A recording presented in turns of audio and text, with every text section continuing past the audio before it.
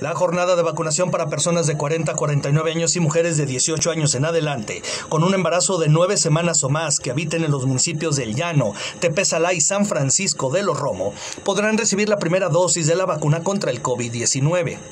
Es importante recordar que deberán presentarse con su expediente de vacunación, junto con su CURP y la credencial del INE en los distintos módulos de aplicación de la dosis. Para obtener su expediente, deben registrarse en la página web mivacuna.salud.gov.mx, descargarlo, imprimirlo y llenarlo.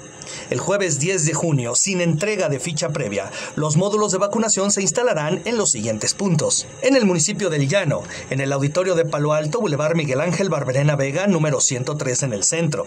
En el municipio de Tepesalá, en el auditorio polivalente Tepesalá, en el Boulevard Orto Granado Roldán sin número en San Francisco de los Romo, en el Auditorio José Guadalupe Posada, en la Avenida Benito Juárez Sur sin número y en la Escuela Primaria Aquiles Cerdán, en la calle Benito Juárez Sur 105 en la Colonia Revolución. Es importante señalar que en estos tres municipios se aplicará únicamente la primera dosis y en esta ocasión son de los laboratorios Sinovac. Con imágenes y edición de Guillermo Luébanos, para Quiero Noticias, Luis Antonio Salazar.